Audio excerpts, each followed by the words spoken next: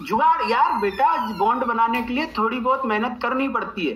तुम अगर गर्लफ्रेंड बनानी है तो घर बैठे थोड़ी ना गर्लफ्रेंड मिल जाएगी। तुम्हें कॉलेज जाना पड़ेगा, स्कूल जाना पड़ेगा, गली के चक्कर काटने पड़ेंगे, हैं? उसका टाइम टेबल बनाना पड़ेगा। ऐसे थोड़ी ना लड़की पड़ जाएगी। भैया, थोड़ी मेहनत करनी पड़ती है, थोड़ी एक्साइटेड स्टेट में जाना पड़ता है।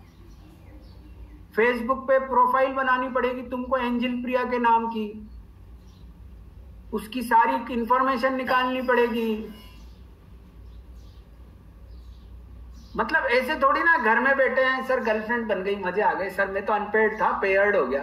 अरे भैया, थोड़ा बाहर निकलो, हैं? ऐसे थोड़ी ना है। हद हाँ। उसके उसके जो है ना, उसकी जो बेस्ट फ्रेंड है, उससे दोस्ती करनी पड़ेगी, उसको सिस्टर बनाना पड़ेगा। समझ रहे हो मेरी बात को? या उनके ग्रुप में जो सबसे तेज लड़की है, उसकी उसकी बैंड बजानी पड़ेगी, उसके मज़े लेने पड़ेंगे।